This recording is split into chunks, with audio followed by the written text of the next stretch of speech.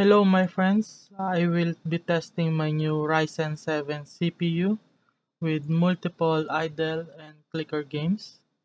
First on the screen is uh, Clicker Heroes. I always keep it running in the background. I have more than 2000 hours in Steam. The second game is Crusaders of the Lost Idol. It's uh, another good game with a lot of quests and the story are very funny. Uh, I choose idle games because they are CPU intensive instead of using the video card. Okay, so the utilization is still in 17%. The third game I'll opening is uh, Guild Quest. I have no background music in this video because I will be using the music in the treasure room of Guild Quest. There, Guild Quest.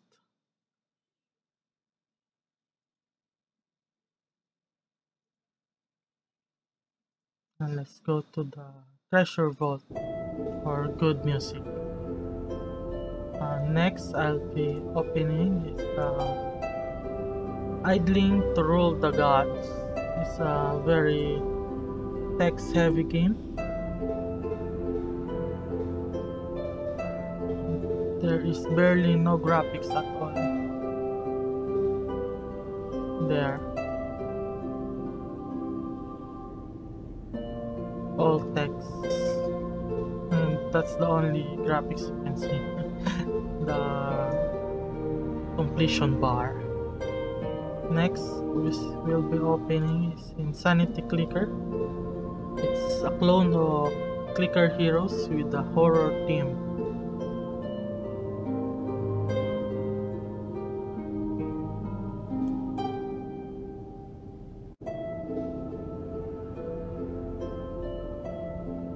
There as you can see in the screen. Even the interface similar to Clicker Heroes. Next game we'll open is uh, Midas Gold Plus.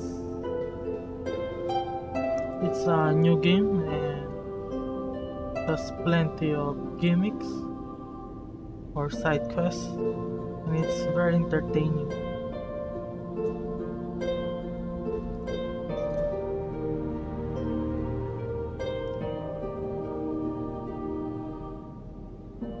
Midas Gold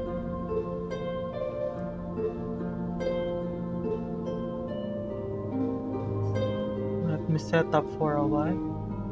There you go, it's appearing. Next game would be Time Clickers. With 6 games open, we are already at 50% CPU. In my previous PC, I can only play 4 or 5 at a time I'm very happy with this Ryzen. Okay, next game is uh, Tap Tap Infinity.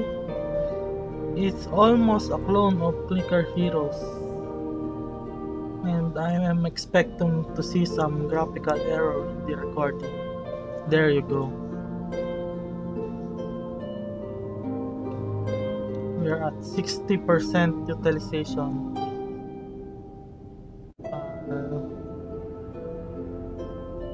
I don't know what the cause of graphic glitch is. Also another is Ragnarok Clicker. It's developed by the same developers of Clicker Heroes. And that's the plugin music of Ragnarok Clicker. There I will show you in the screen. There, it also causes graphic glitch because it has the same I don't know with Insanity Clicker and Clicker Heroes. So that's 9 games open and we are at 72%. Now to top it off and end this video, let's start Counter-Strike. and let's see if I can still play.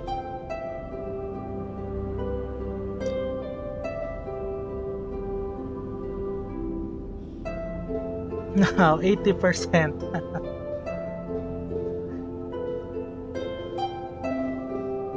Okay, Counter Strike. Total of 10 games running. Still at 80%.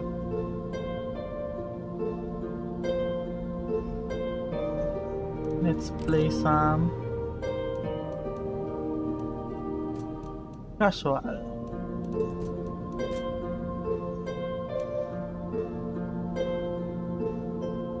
Maybe it will not reach 90%. While loading Counter-Strike, it reached 80, but I guess it will not go that high again.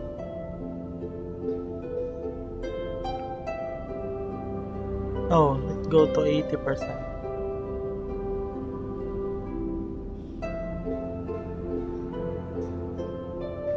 So maybe I'll end this video here.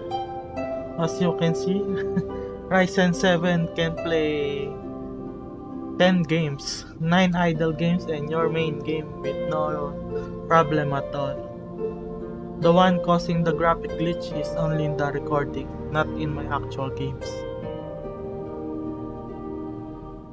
So thank you for watching, hope you like this video and please don't forget to subscribe. Thank you.